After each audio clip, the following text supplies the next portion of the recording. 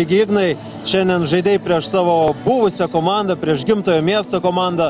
Ar yra kažkokia specifinė reikšmė žaidžiant prieš šią ekipą?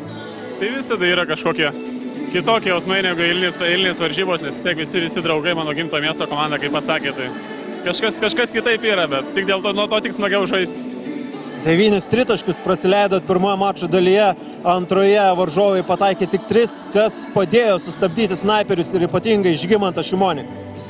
Pirmoji daly kažkaip prastai keitėmės mes viską ir, ir, ir, žygis laisvas, visus beveik tritaškius įsimetė, kažkaip nesuratuodavom. Antroji daly pasirodo, kai norim, galim gintis, tai, tai, tai, tai ačiū Dievui, susigynėm, neprasileidom tiek pat tritaškių ir pavyko susitvarkyti.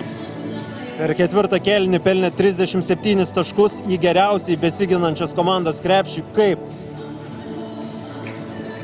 Pasisekė ko gero, nes nu, kažkada tai turėjom pataikymą, nes man atrodo, bet pačioje pradžioje prastai labai pataikymo, galė viską sumetėm ir... Bet čia naujiena, kad 37 kažkaip ne, ne, ne, nesimatė. Taip. Tai reguliarus sezonas artėja prie pabaigos, patys žaidžiat kosminiu tempu, kas antrą dieną praktiškai ar neatsibodo, ar nepavargot ir ar labai laukėt tos pertraukos prieš ketvirtfinalį? Taip, pertraukos laukiam, bet, bet kuo daugiau varžybų, tuo smagiau. Tai gaila, kad, gaila, kad tas sezonas taip greitai baigsis, bet, bet galim, nežinau, dėl manęs galim žaisti kas antrą dieną ir, ir pusę metų. Tik smagiau.